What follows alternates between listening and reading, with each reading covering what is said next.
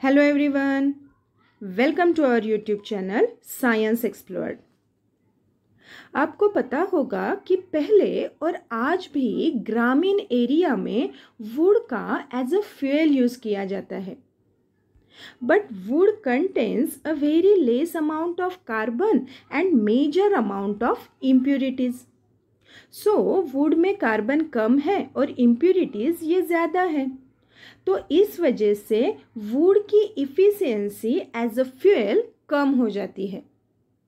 And this results in the production of large amount of smoke and ash but इसी wood का conversion अगर charcoal में हो जाता है और इस चारकोल को अगर हम यूज़ करते हैं तो आफ्टर बर्निंग इसमें से स्मोक और ऐश कम प्रोड्यूस होगा।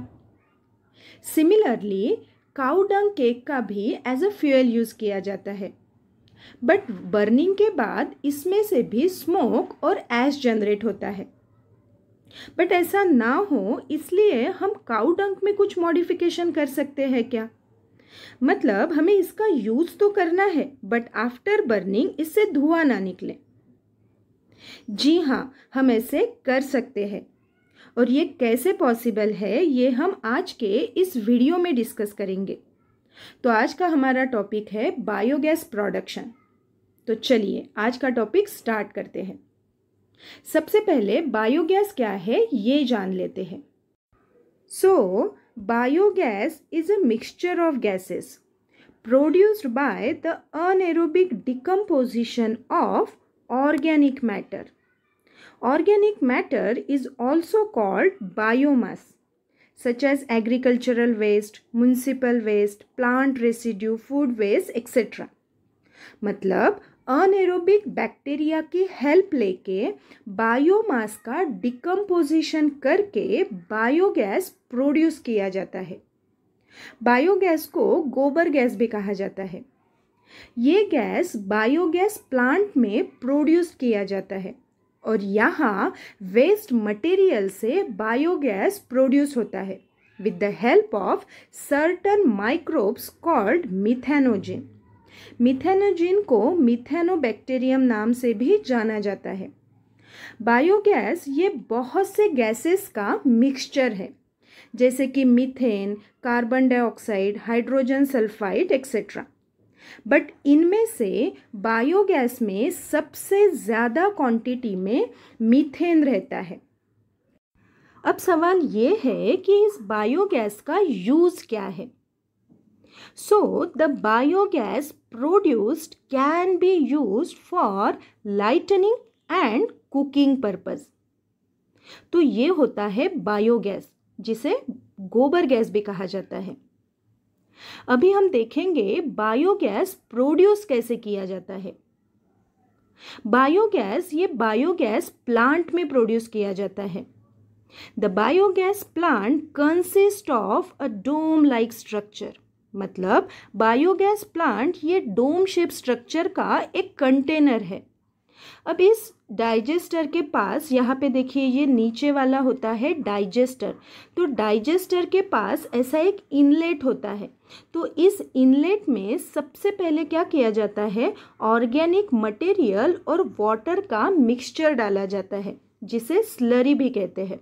तो सबसे पहले क्या किया? इस इनलेट में स्लरी डाला गया। अब ये स्लरी कहाँ पे जाएगा? ये स्लरी जाएगा इस डाइजेस्टर में।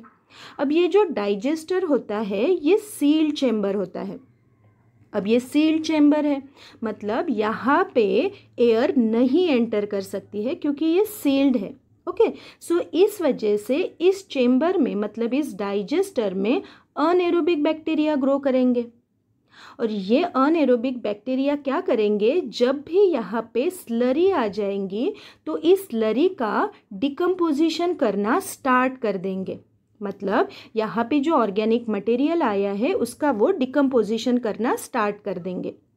और कुछ दिनों के बाद ये अनएरोबिक बैक्टीरिया उस ऑर्गेनिक मटेरियल का कम्प्लीटली डिकम्पोजिशन कर देंगे। और उस, उससे methane carbon dioxide hydrogen hydrogen sulphide जैसे गैसेस प्रोड्यूस हो जाएँगे। अब ये जो डाइजेस्टर है, इस डाइजेस्टर के ऊपर ऐसे गैस होल्डर होता है। जिसे स्टोरेज टैंक भी कहा जाता है। तो इस गैस होल्डर में जो भी इस डाइजेस्टर में गैसेस प्रोड्यूस हुए हैं, वो गैसेस इस गैस होल्डर में कलेक्ट किए जाते हैं। और जब भी इस गैस का यूज़ करना है तो इन गैसेस को यहाँ से इस पाइप से रिलीज़ किया जाता है। So these gases are drawn through pipes from the storage tank तो यहाँ से उन्हें निकाला जाता है ताकि हम उसका यूज़ कर सकें।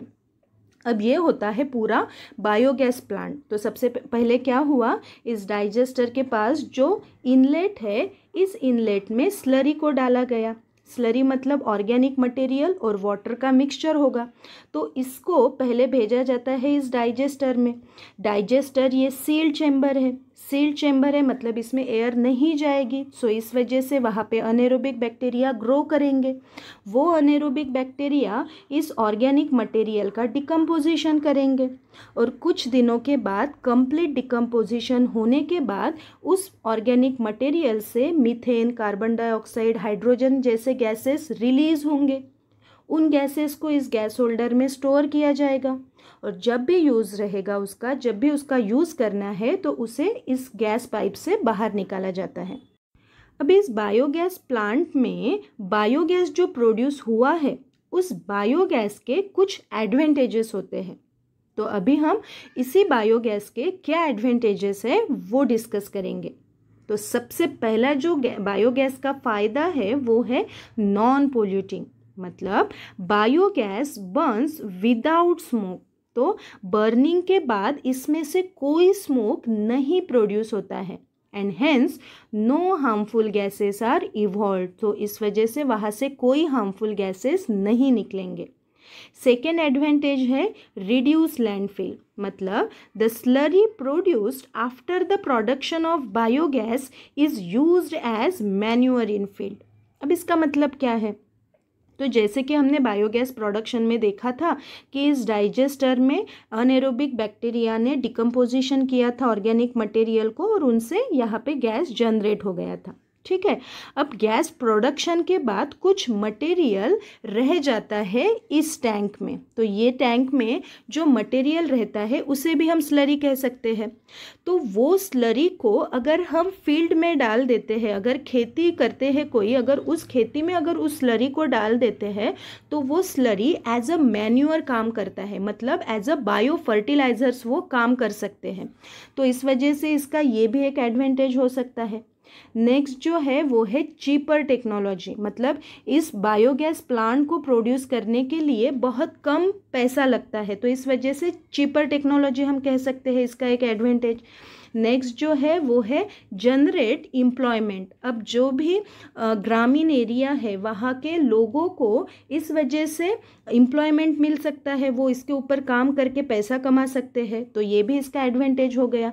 और लास्ट है रिन्यूएबल सोर्स ऑफ़ एनर्जी मतलब ये फिर से हम जनरेट कर सकते हैं। एक बार बायोगैस प्रोडक्शन हो गया, फिर से हम वहाँ पे स्लरी डालेंगे और वहाँ से फिर से बायोगैस प्रोड्यूस हो सकता है। मतलब अगेन एंड अगेन हम वो बायोगैस प्रोड्यूस कर सकते हैं। तो इस वजह से हम इसे कहेंगे renewable source of energy because the production is depend on the generation of waste which is endless process तो ये एंडलेस प्रोसेस है तो वेस्ट मटेरियल से हम बार बार बायोगैस प्रोड्यूस कर सकते हैं। तो ये सारे हुए एडवांटेजेस ऑफ़ बायोगैस मतलब सबसे पहला है non polluting then reduce landfill cheaper technology generate employment और लास्ट है रिन्यूएबल सोर्स ऑफ़ एनर्जी तो ये सारे हुए बायोगैस के एडवांटेजेस अब जैसे बायोगैस के कुछ एडवांटेजेस है, वैसे ही इसके कुछ डिसएडवांटेज भी है। तो वो क्या है? तो सबसे पहला जो है, वो है not efficient enough on a large scale तो ये बहुत बड़े स्केल में हम बायोगैस का प्रोडक्शन नहीं कर सकते हैं। तो इस वजह से ये इसका डिसएडवेंटेज होगा। नेक्स्ट है कंटेन इम्प्यूरिटीज़ तो इसमें बहुत सी इम्प्यूरिटीज़ होती है। मतलब it contain many impurities which are difficult to controlled even after rounds of purification तो प्यूरिफिकेशन बार बार करने के बाद भी इसमें कुछ इम्प्यूरिटी रह भी जाती है। सो so, इस वजह से ये भी इसका डिसएडवेंटेज हुआ। और लास्ट इसका डिसएडवेंटेज है अनस्टेबल एंड हजार्डस अब ये हजार्डस कैसे हो सकता है? अब देखिए, कैसे होगा? जब मीथेन जो बायोगैस का एक गैस होता है, जो मीथेन है, अगर वो मीथेन एयर में जो ऑक्सीजन है, अगर उसके साथ कांटेक्ट में आ जाता है तो वहाँ पे रिएक्शन हो जाएगी और उससे कार्बन डाइऑक्साइड प्रोड्यूस हो सकता है। तो इस वजह से ये भी एक इसका डिसएडवेंटेज हुआ।